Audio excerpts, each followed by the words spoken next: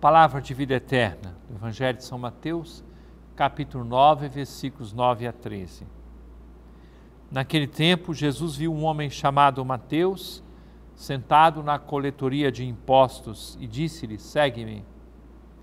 Ele se levantou e seguiu a Jesus.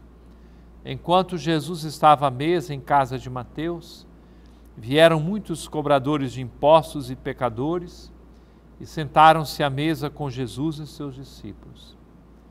Alguns fariseus viram isso e perguntaram aos discípulos: Por que vosso mestre come com os cobradores de impostos e pecadores?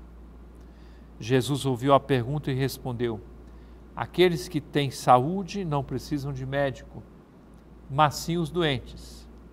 Aprendei, pois, o que significa: quero misericórdia e não sacrifício de fato, eu não vim para chamar os justos, mas os pecadores.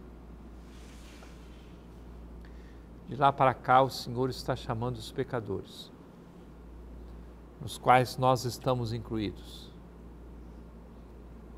De lá para cá, o Senhor está chamando aqueles que reconhecem a sua limitação, a sua fraqueza, querem se tornar homens e mulheres renovados na graça de Deus desejam fazer uma estrada de conversão, de transformação da própria existência, malgrado as suas próprias limitações, fraquezas, debilidades, chamemos como quisermos.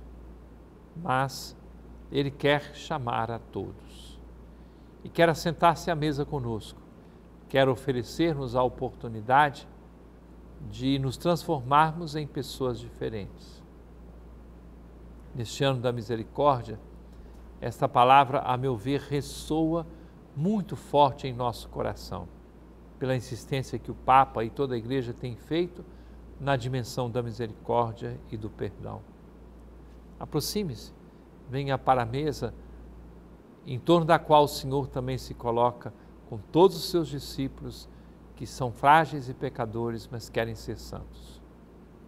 É palavra de vida eterna. Música